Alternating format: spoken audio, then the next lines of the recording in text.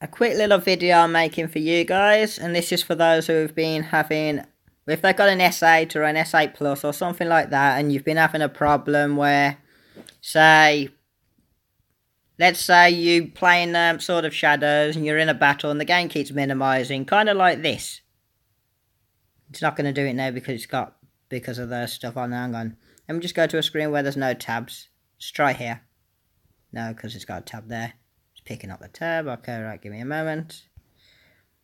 Home button navigation, I should be able to do it from here. Yeah, because there's no tab at the bottom. If you're getting this problem, where the, you've got your buttons minimized, like these buttons, okay, I'm not sure if you can see them on the screen. You should be able to with Mobizen.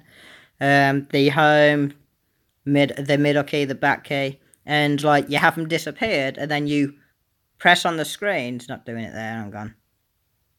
No, oh no, it won't do it because I got it off. Right, and you get, uh, if anybody's getting this problem where you press on the screen and even though the buttons aren't there, when you remove your hand it minimises, it's because of this setting. Hard press home button, mine's set to a sensitivity of 3 out of 5. And because I had this on, whenever I pressed on the screen, or hard pressed on the screen, the game would minimise. And obviously when you're playing Sword of Shadows and you're pressing your jump and your attack skills and holding the block, mainly when I was holding the block button, the game would minimize, or if I was going about to do a normal attack or a skill or something like that, the game would minimize, and it would make basically PvP a bit difficult. If you're getting that problem, go into settings, display, then scroll down to navigation bar and uh, turn this tab off and it tells you what it does underneath. Use the home button while it's hidden by pressing harder than normal. Well, obviously, that's a little bit annoying when you're playing PvP games. So, yeah, it's a good idea to turn that off. And I thought I'd um, show you, well, make this video for you guys so that if anybody's getting that problem, you now know how to solve it. And just to show you what I mean, I've activated, oops, not that. I activated developer mode so that I can scroll down to pointer there we go, this will be it. And that will show you my touches. Okay, I'm gone. Dun, dun, dun. Now we're going to display, navigation bar, and you'll be able to see I've got it turned off. If I hard press, you should be able to see the pointer icon. I'm hard pressing and it's not triggering.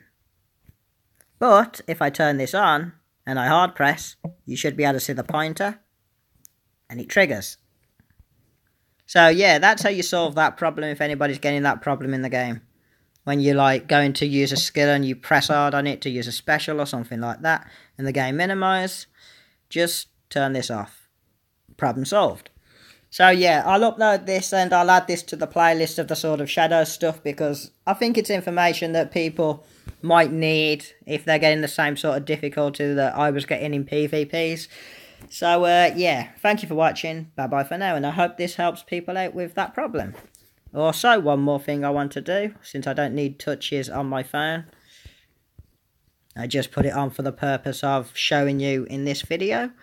I'll go down now to developer options, knock this off, back on, and then off just to make sure I reset it. Actually, I'm going to put it back on one moment just to make sure the touches are definitely off now. It should have automatically turned it off, but sometimes it doesn't. But we're going to just check anyways. There we go. Yeah, it's off automatically. Once you turn that off, knocks everything off.